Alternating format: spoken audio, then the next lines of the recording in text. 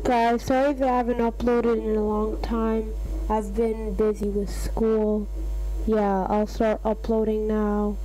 So yeah, that's just the, that's just why I wasn't uploading. So yeah, bye guys.